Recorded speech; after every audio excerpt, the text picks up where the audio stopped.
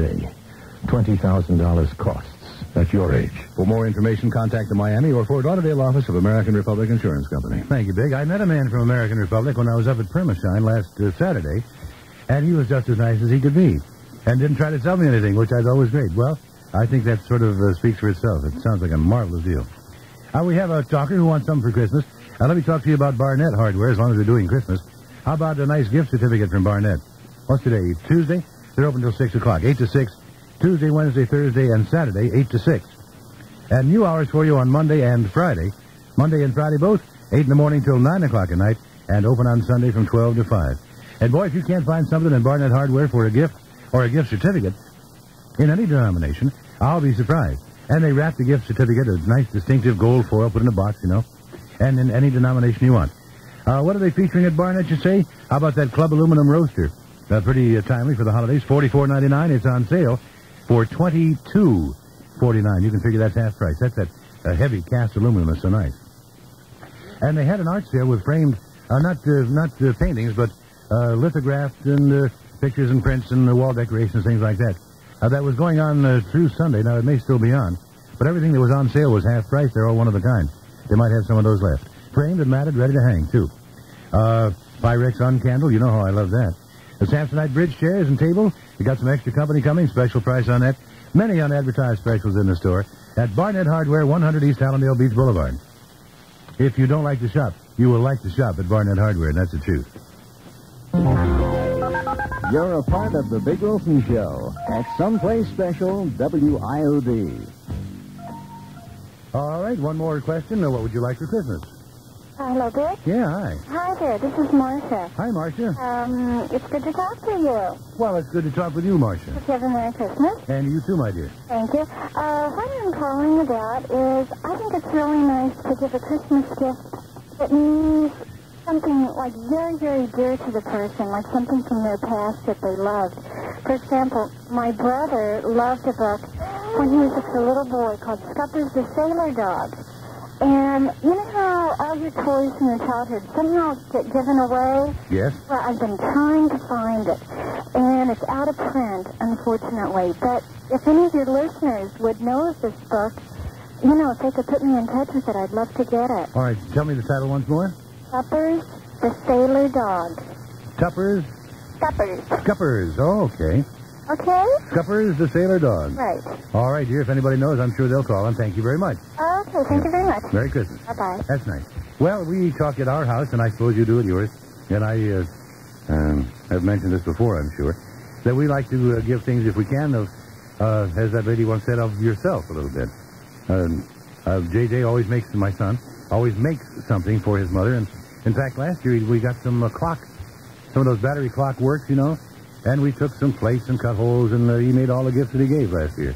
And I think that's really nice because uh, you can go to the store and buy something, and here it is. But uh, to take some time and put a little love into it, that's uh, a little nicer, I think. A personal opinion. Look at here, it's 132 at. It's time I put in my call to Santa Claus. Hello, this is Santa Claus wishing you joyous Noel. That's how the people of French-speaking Canada say Merry Christmas. Today I'm in Quebec province, where families have many special Christmas customs. The day before Christmas, the people traditionally eat pea soup. It's mighty good, but they're waiting for the big feast after church on Christmas Day. Can you hear the fiddler? The children are dancing to his music round and round the tree with its beautiful angel on top. Then they'll open their gifts. Oh, it's cold up here in the north, so I bring them warm things, little red mittens, snuggly scarves, and because children love to play in the snow, I give Kate Suzanne and Pierre snowshoes and skis. Oh, now it's time to go off in my sleigh. Call me tomorrow when I'll be in Czechoslovakia. Fairly modern and yet quite lovely indeed. Boney M. Boney M. I know, that's the name of the group. Mary's Boy Child uh, Slant Line, Oh My Lord, is what it's called. I just had a call. Said, I'm, uh, my name is Stottlemyre.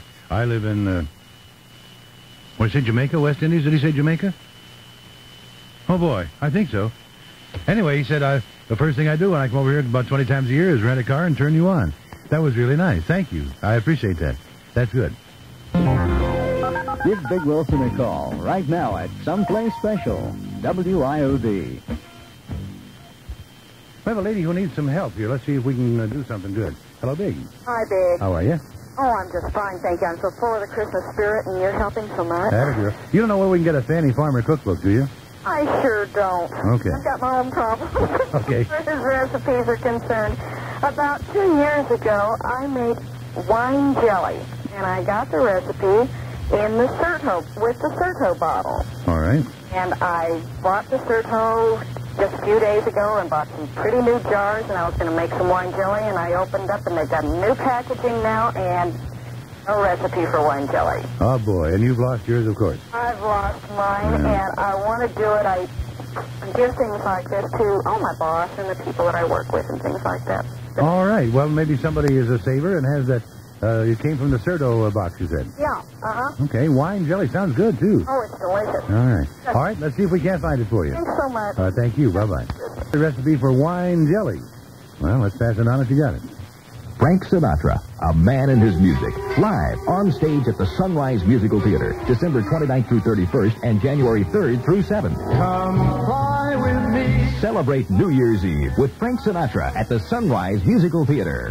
Tickets are available at the box office and tickets by phone at 741-8600. Dinner theater packages are also available. For information and reservations, call 741-8600. That's life. Following Frank Sinatra into Sunrise, the incredible Mitzi Gaynor, January 16th through 21st. Oh, lovely, lovely. Uh, if you have an emergency or an accident over the holidays, here's a 610 tip. South Florida hospitals are on duty 24 hours, of course, to take care of you. Why not jot down the number of your nearest emergency room? And the Miami-Dade Community College's outreach department, you can call them at 685-4345. Find out how you can go to college in your own neighborhood. Sounds good. Speaking of neighborhood, uh, you would you prefer to shop at a neighborhood store rather than at a, one of the great uh, monstrous stores where it's kind of impersonal? How about Carpet Masters in Fort Lauderdale? Well, they don't make the carpet, but they certainly make a difference. Uh, they have the same merchandise as the big stores, but they got lower prices. In fact, uh, I have a note here that says they have super low prices with a tremendous selection. And of course, all this work is done for you by professionals. Whatever you need in floor covering, uh, depend, depending on availability, they'll have it for you in time for Christmas if you like that. They have name brand sheet vinyl, Armstrong, Mannington, Congoleum, GAF. They have carpeting, ceramic tile, wood flooring, uh, padding and installation, by the way, at cost. And if you don't need it, you don't have to buy it. They will not sell it to you. I kind of think that's a good idea from Carpet Masters. That's that personal touch that is so nice in a in an outfit like this. A large selection, super low prices at Carpet Masters, and they'll they even do power uh, carpet cleaning for you, professional carpet cleaning. Huge selection, lower cost than big name carpet stores with that friendly, personalized service. That's what you like. Then call Carpet Masters in Fort Lauderdale. Broward, the number is 491 6644. Gretchen's good news coming up on WIOD in a couple of minutes. Wait a minute. Uh, hello, do you have the jelly? Hello? You do have the jelly. Wait a minute. You and Big Wilson on the phone together at Someplace Special, WIOD. Yes, hello, you're on the air. Why don't I hear you? We have a bad connection here. Hold on, dear. Hold on, don't go away. Bad connection, so I'll get that off the air for that lady. The wine jelly. You listen to Dr. Hook, and then we'll have Gretchen's good news on WIOD.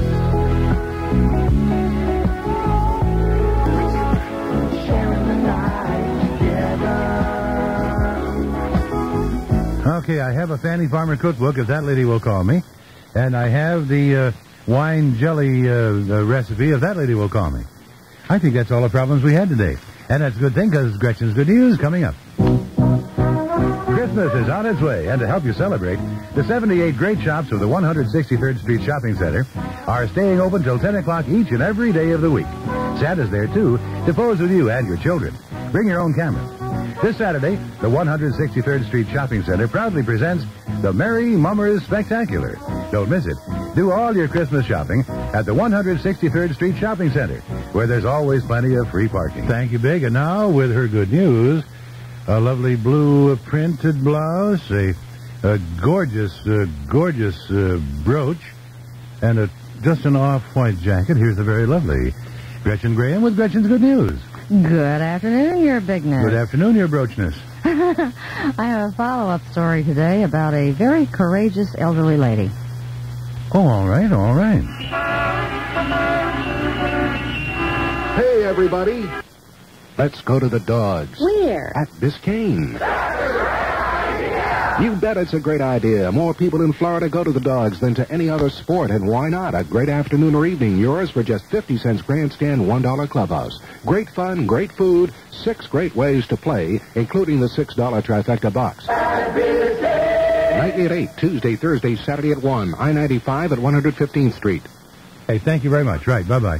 Okay, uh, it's Gretchen's good news, Gretchen. I uh, The man was talking about Fanny Farmer cookbook. I guess they're all over the place. Ooh. Yeah, I like the candy. I do too. Darn it. One of today's good news stories comes from our friends at the Miami Police Department from uh, Officer Chuck Kelly, who got a letter from a man in Minnesota who'd heard about the actions of an elderly Miami woman. Now, to recap the story briefly, we may all remember about the 71-year-old woman who became annoyed on a bus because a teenager blew smoke in her face. Oh, I do. She had an mace or something. She she ran down the aisle spraying him with mace Yeah. and accidentally maced a few other people. Oh, anyway, well, it seems, of course, the story went all over the United States. It was picked up by radio stations and TV stations and newspapers all over the country. Well, it seems a gentleman in uh, in Minnesota read the story.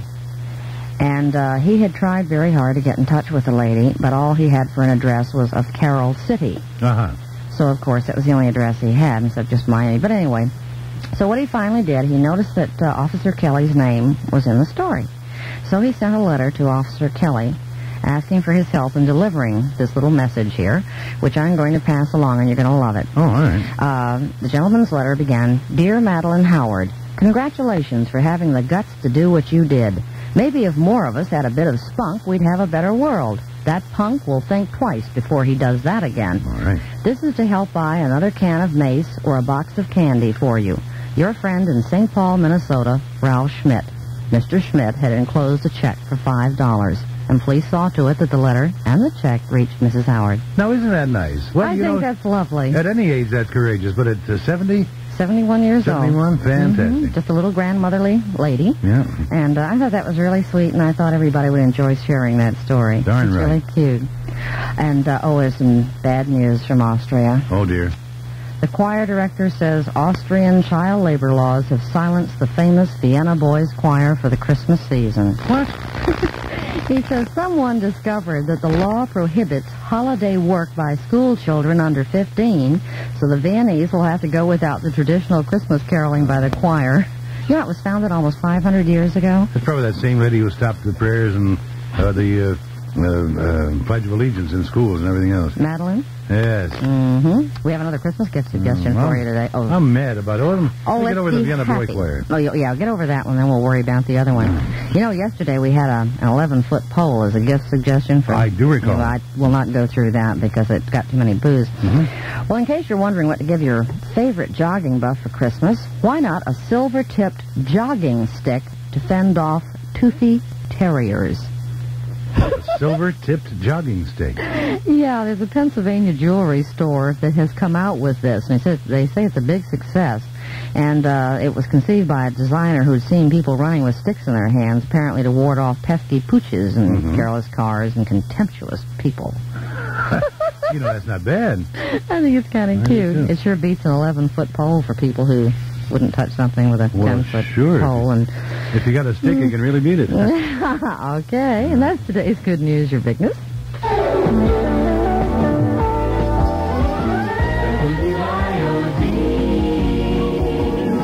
Someplace special.